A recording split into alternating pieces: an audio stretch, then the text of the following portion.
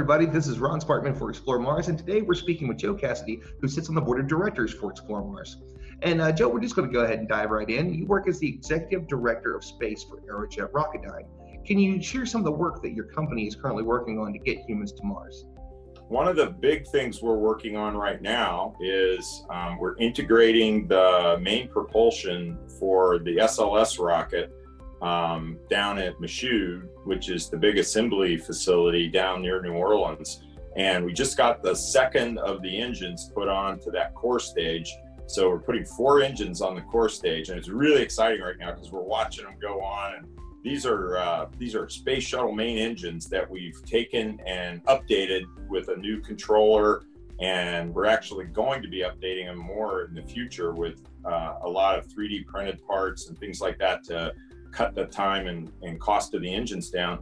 But these are the space shuttle veterans that we're using for these first missions. And it's just so exciting to see these engines that have flown, you know, some of them have flown up to like four or five uh, space shuttle missions, and they're going to actually be used to lift that whole new rocket up into space. And, you know, it's kind of like our main lift platform for going to Mars. So it's exciting to see it coming together now and the real hardware. And uh, so we're working on that. Um, we also do the upper stage engines uh, down in our Florida facility. That's the RL10 engine. Um, that's going to go for the first couple missions. There'll be a single RL10 on what they call the interim cryogenic propulsion system, I think, or ICPS. Um, and so that'll just basically be used to get uh, Orion and the crew all the way out around the moon, come back home, um, but for future missions where we want to lift more cargo and even heavier payloads out to the moon, we're going to have an upper stage. It's called the exploration upper stage, which will have four of those RL10s on it. So, you know, those two things together are kind of our main lift platform for the exploration. And then the other thing that I've been working on for quite a while, in fact, most of my career, is actually more related to how we're going to transfer things around in space, and that's the solar electric propulsion. So, right now, we're doing a big program for NASA where we're um, actually developing the next generation of higher power Hall thrusters, which are basically, you know, people use different terms electric propulsion, ion propulsion. Um, really, what they are talking about is not using chemicals and combining chemicals together and combusting them to get the thrust, but rather uh, ionizing a gas, in this case xenon, and expelling it out the back end at really high velocity, so we get super high ISP. And that what that translates into for you know just anybody out there is it's really good gas mileage. And if we want to go all the way out to Mars with 20 metric tons of payload, that's the way to do it. It's just like uh, I always like to use the analogy. It's just like we do the container ships here on Earth. You know, we can load them up with with you know literally tons and tons of those containers, and they take the you know long way around. It takes them a while to get from China to like the ports in the U.S. But it's the most efficient, most cost-effective way to do it. So that's what we're looking at with the solar electric propulsion. Is that's going to be kind of the logistics backbone out there as we go deeper and deeper into space. So those are a few of the things we're working on. And as a member of the board of directors for Explore Mars, what does the organization as a whole mean to you? That's a great question. Um, I, I've been around with them not since the very beginning. I wasn't one of the founders, but they reached out to me pretty early on. Um, and so I've had a chance to work with Chris and and uh, you know many of the other board members over the years, plus almost 10 years, I guess now, if I think about it. And what I've seen the thing I like the most about Explore Mars is it's an organization that doesn't go and try to divide people. It tries to bring people together. And we've always had the goal of getting humans to Mars, but we've reached out to people like the this ISS community, the people that were doing research on the ISS.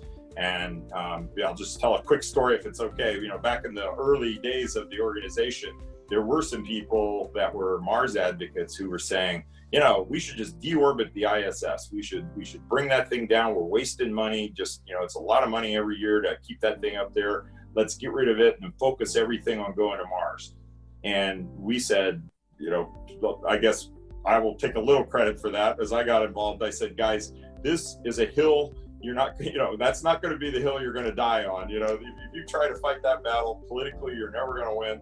You should go and try to reach out to that community and get them engaged. And and so that's what we did. We ran a conference. That one of our very first things that kind of led to H2M was something called ISS and Mars.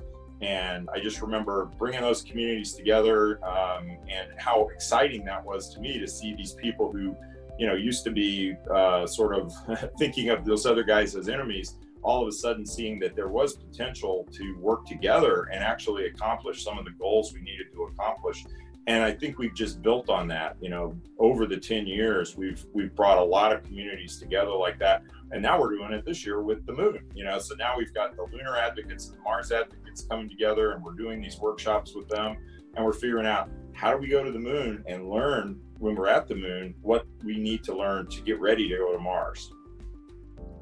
What is the ultimate goal of the Explore Mars organization?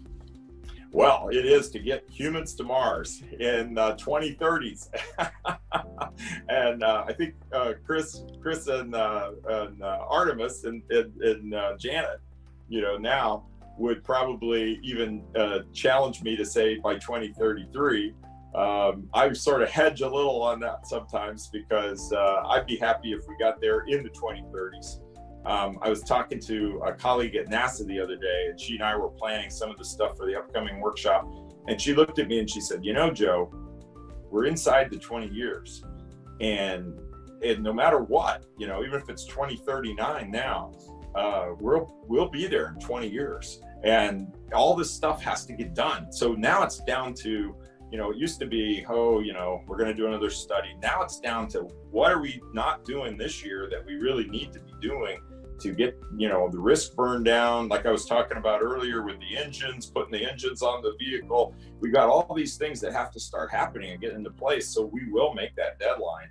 But even nasa's committed to it. It's great to see. Uh, so i'm excited and i think our our organization has helped people really hold the, that goal in mind let's get humanity and let's get all you know all the things coming together that we need to put people on on mars by the 2030s can you tell us about the most incredible moment that you've experienced at the Humans to Mars Summit over the years?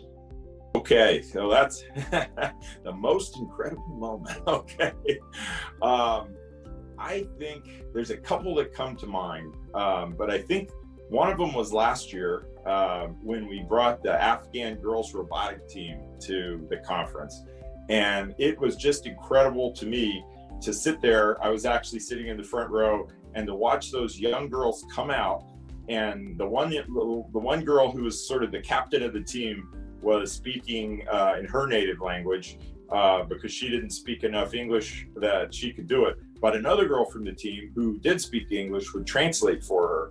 And just watching them, and, and in my mind, I'm thinking about all of the things that they've had to go through to just be able to do what they're doing. You know, uh, from that part of the world, being women and not, you know, having overcome some of those cultural uh, things that in that part of the world, it's not, you know, common for girls to maybe get that kind of education, work in a STEM field, uh, and, and to figure out how to get involved in this whole robotics competition and travel from where they live to come to the US and then have the confidence to stand up there in front of this audience of several hundred people, you know, at this major conference and just project, you know, what you, they're they're uh, so proud of what they're doing, and I it just it really touched me. I thought that was really really something. So it's 2045, and we've been on Mars for a decade. What does that new world look like to you? So 2045, um, I think what I believe we'll do is we'll get there as I said, in the 2030s, uh, I think we'll we'll begin to build up capabilities. And so over a decade, if we go every opportunity, which is another thing I think is really important. I think once we start going, we better be there every two years, you know, just like clockwork. And every time we go, we'll take some more things. We'll take some power systems. We'll take some mining systems, um, you know, more mobility. So by the time we've reached the 10 year mark, we would have been back maybe five or six times.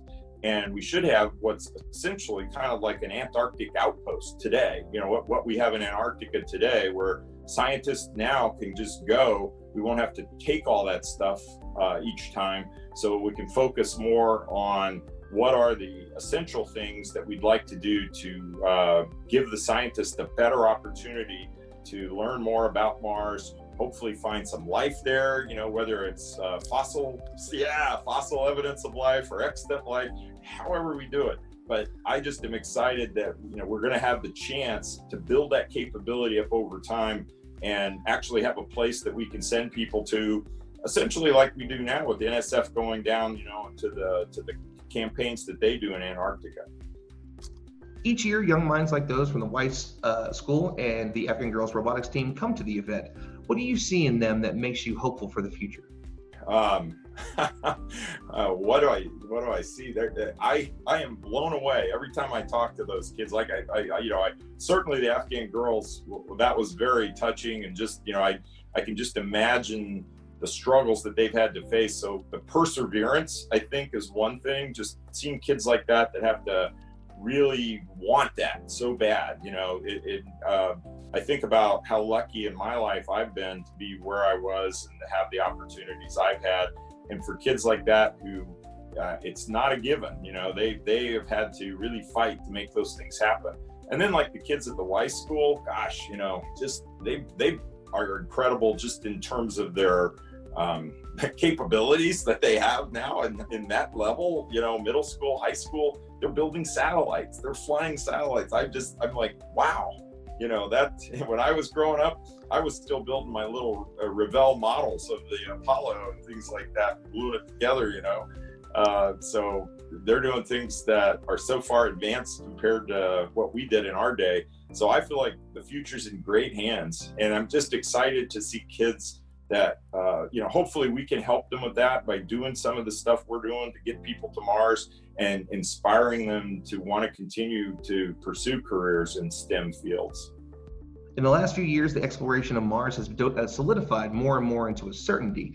What is explore mars working and where do you want to be the very first moment that humans step on mars? I think a couple of things. Uh, one we're doing the uh, we've done a series of workshops we call affording mars and it's actually gotten to be we still use the acronym AM, but it's now Achieving Mars, and we've actually broadened it to include the moon. So we've we've we've run these workshops now for uh, this is our seventh one that we're getting ready to do in a few weeks. And what we're doing with each one of those is trying to better define some of the really tough challenges that are out there. Um, I'll give you a good example. One of them um, is entry, descent, and landing at Mars. Um, we know it's hard. Uh, it's been you know, the the bane of many a Mars mission, and we've been fortunate in the U.S. to be able to do what we've done with Curiosity and Spirit and Opportunity. Before that, um, we've gotten very creative. You know, folks at JPL have come up with fantastic ways to approach it with like uh, you know the Sky Crane now. Uh, but even that, we were able to do like one metric ton. We can land a metric ton on the surface of Mars um, we're going to have to scale that up by about a factor of 20. You know, we need to land about 20 metric tons to 30 metric tons on the surface to support human exploration. And we probably need to do that multiple times uh, for, for every mission. So we've got this whole campaign of flights. Um, so entry, descent, and landing for something that big requires us to really understand. Uh, one thing we know for sure is parachutes aren't going to work. We tried some parachute stuff it's just not going to scale up. So now what we're looking at is essentially things like uh, deployable uh, heat shields, aerodynamic, decelerators, um, and there's a lot of concepts for those. But we're going to have to really work that over this next 15 or so years so that that technology gets proven out and, and it's ready. And maybe in the interim, one of the things we can do, because we want to also send some more ambitious robotic missions to Mars, we can actually do like a, um, something that's almost as big as a human mission, but it's a robotic, you know, maybe like a sample return or something like that. We're working at different concepts right now for a Mars sample return. Um, so that's one of the ideas we have is we can do that as sort of a test mission prior to actually doing the human missions.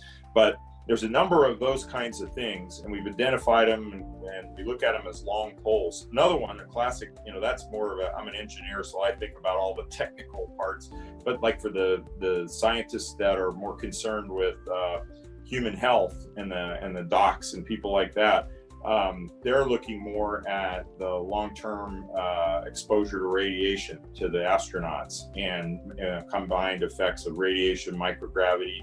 So all those kinds of things are ongoing uh, challenges that we're trying to understand better on the International Space Station. We're going to go out and orbit the moon and the Gateway. We can we can put crews out there for longer periods of time and get some more experience with um, you know what that environment is really going to do with the crews and um, also even just the human psychology of being out there for that long you know for a mission that might last as much as a thousand days we've got to think about the psychology of being you know out in space and what do you see as the biggest challenge the space industry is right currently working to overcome like to get humans to the red planet okay so um, yeah, there's a couple of those. Um, one is definitely um, you know, the whole idea that we're going to have to keep humans alive for a thousand days in space, further in space than we've ever gone before.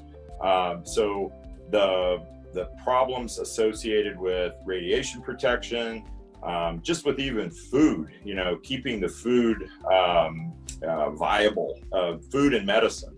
Uh, both of those have issues with um, um, you know, if you're if you're gone for that long and you're in deep space, uh, potentially radiation has some effects on those things. So we're really working hard to look at that, and then also uh, try to come up with things like fresh food. You know, because the one thing the astronauts on the ISS talk about is um, they really enjoy it when they get those shipments up from Earth and they can have something that's actually not freeze dried or you know in a tube or some kind of a power bar. So they, uh, you know i think all of that kind of research is going to be critical to really making it happen. And then the other side of it i think is um, we're working on some interesting advanced propulsion concepts where we can actually speed the mission up a little bit. So you know as we get um, more um, time to actually work on some of these things and we can see you know if if the possibilities are there one of the things we'll want to do is bring in some of that advanced propulsion so that we can reduce the trip times down and you know there's things like nuclear thermal propulsion. We worked on it in the 60s and 70s we kind of went away from it but it actually has some potential. And if we get out there and we're working around the moon and we've got places where we can safely test in space and you know actually demonstrate some of these things uh, with some missions in in lunar orbit um, then we could probably say yeah let's let's uh, on ramp that in and we can use that as our crew delivery system if we leave from lunar orbit we can take off and maybe we can cut that trip time down by two or three months and where do you want to be the very first moment that humans step on mars oh gosh um, well, let's see. If it's in the 2030s, uh, I'll probably be sitting in my rocking chair on my porch somewhere. uh, but yeah, I, uh, gosh, where would I want to be? I'd actually love to tell you the truth. Well, it wouldn't be the landing; that would be the launch. I, would love to be at the Cape and watch them launch. That's for sure. And then uh, I think at the landing, um, it'd be super exciting to be sitting there in mission control, you know, watching that feed come down as as those guys and gals are are touching the surface for the first time. But I'll be happy no matter where I'm at, you know. I just wanna I just wanna live long enough to see it happen. Explore Mars works hard to develop policy for our country's leadership. What can the average person do to motivate the people in Washington? Good question. Um, I think one of the things that um, I'm going to give a shout out to uh, Rick Zucker here. Rick's been a warrior for us in Explore Mars, and before that, he worked for some other space organizations at organizing what we call the Legislative Blitz every February. Um, and they, they get people from as much as we can from all over the country. Because the one thing legislators love to have is there for their constituents from their districts to actually call them and talk to them or email them about issues. And so what Rick does is he gathers up a big team of people. They go up on the hill, they walk around. We break up into teams and we go see these people in their offices or talk to their staff. But I would just say, reach out. You know, it's really easy nowadays. Uh, go online, uh, find out who your local representative and, and the senators are. And if you care about it, if you're passionate about that happening, let them know. It never hurts to have it. And, and especially, you know, if you're from Wyoming or you're from Montana or, or uh, even Hawaii, you know, if from someplace that's not traditionally maybe thought of as a space place, um, your voice is as important as anyone's. And if you if you let your representative and congressmen and senators know that that they're that they're um, you know they're going to vote, they're going to have a chance to vote, and and uh, you want them to know that it's important to you. The more of that kind of stuff we get, it's a grassroots support. And one of the things we've done polls, and we always, when we get the polls back, we always see a really high percentage of people who are in favor. And I think that just needs to be reflected in what the people in Congress are hearing too. Um, because we take those polls and those results up to show them. And if they hear those people, you know, writing to them and things like that, that just backs up what we're telling them. And what's your advice for anyone that wants to be involved in getting humanity to Mars? I would say if, if that's something that's important to you, um, then there's like loads of places for people to get involved. Um, you don't have to have an engineering degree. Um, you don't have to be a scientist. Um, find a local organization like uh, Planetarium um, there's there's uh, lots of astronomy organizations around the country. Get connected up with those folks. Um, join. It's not hard to join Explore Mars. All you have to do is go online. Uh, you can you can access exploremars.org. Um, get involved. You, you can't necessarily always, if you're in another part of the country, get to the meetings like H2M. By all means, if you if you can come to those, um, but but you can get involved at a local level. You can get involved in, in a lot of different ways. And um, there's even things that citizen scientists can do nowadays. Uh, there's loads of data sets out there that NASA's getting from all the craft that we have, you know, on the surface of Mars and in orbit around Mars now. And that data is actually out online. So if you go to like the JPL website and look for opportunities, you could even find a thing where maybe you could you could scroll through a lot of uh, images from Mars and look for something that's important to NASA. Uh, you know, there's a lot of ways that, that people can get involved. I think people sometimes think, oh gosh, you know, I'm not a scientist, I'm not an engineer, uh, I'm not a, I'm no good at math. Lots of ways you can do it. And and the other thing is talk to people.